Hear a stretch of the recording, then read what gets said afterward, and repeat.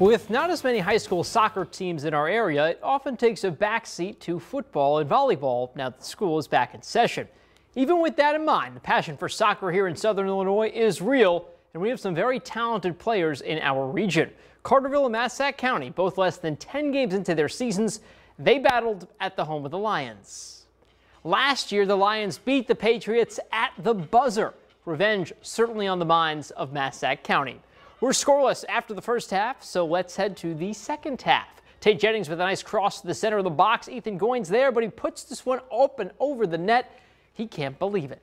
All right, later on, it's Davis back with the ball. This time he's going to go deeper into Lions territory. And when he has the ball, he's going to center this one. And Aiden Mizell is there. He gets the pass, and he's boom right there for the one timer and the goal. The Patriots all fired up at this point. Mizell putting Massac on the board. It was a pretty nice sequence of playing, so we're going to slow this one down for you and show you one more look at this one. Again, this is the only goal of the game for either team. Massac takes the match 1-0, and head coach Kyle Rinwald says he's seeing his squad move in the right direction.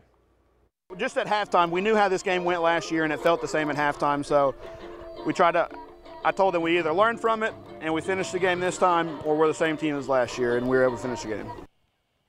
Next up for Massac County, a very good Murphysboro team on Thursday. The Red Devils are again one of the best area teams this year. Carterville makes the trip to Harrisburg to face the Bulldogs.